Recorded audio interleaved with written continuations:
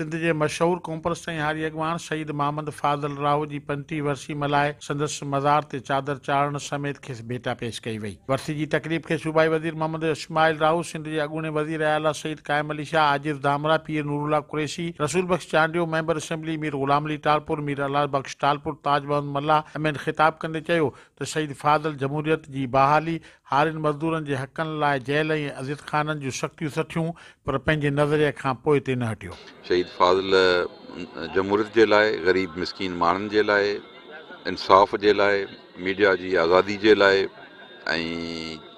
ग़रीब ऐं बेपोच हारिन ऐं नादार ऐं लाचार माण्हुनि जे लाइ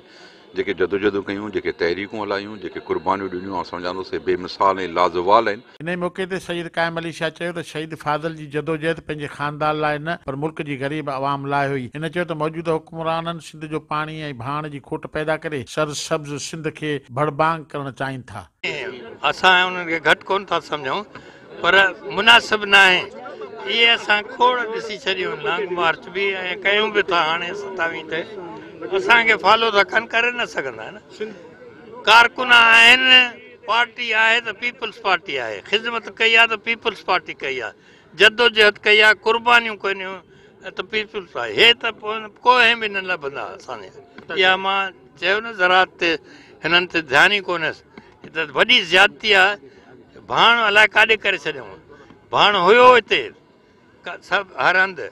हाणे उहे ॼण न जवाबु त काॾे कयूं भाण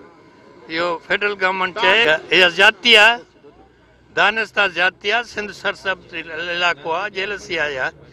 सिंध खे हरभरू सुकाइण जी कोशिशि आहे वरसी जी तकरीब के Aslam Rahu Sain Bux Jamali Haji Ramzan Chandio Ghulam Qadir Palijo Hameeda Gangro Shahnaz Rahu Shanu Rahu doctor Bhikharam doctor Adeed Memon doctor Sitar Channa Haji Abdul Ghafoor Memon पीर अमजद सिद्दीकी अब्दुलरहमान बलोच अब्दुल गफ़ूर निज़ामानी अली अहमद जोखियो मिठो मेहरी सालह राहमू ऐं ॿियनि ख़िताब कर भेटा पिणु पेश कई कैमरामैन इब्राहिमू सां शकूर मेमण सिंध टीवी न्यूज़